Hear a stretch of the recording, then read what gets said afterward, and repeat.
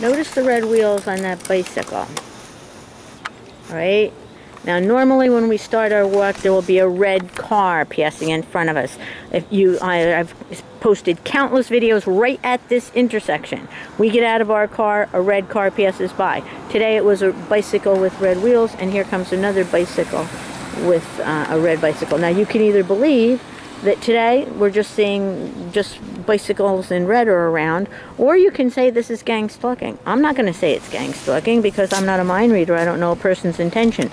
But if you look at, I have posted almost a thousand videos on YouTube, and if you go to this corner, because we often walk here near Laguna Park, if you go to this corner, you will see countless videos where we get out of our car, and there's our car. We usually park in the same place, and a red car will park right, will come past right at this corner as we start walking. Today it's been red wheels, red bike.